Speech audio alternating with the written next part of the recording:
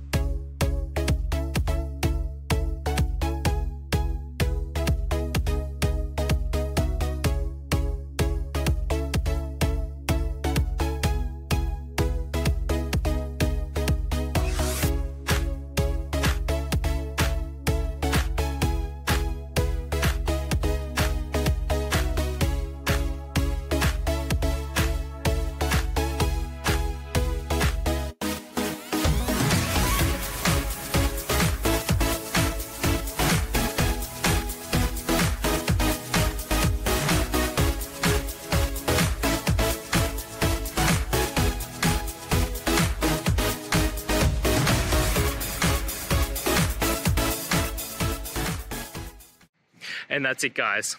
I hope the video has helped find you to that resolution and you're able to get through your problem.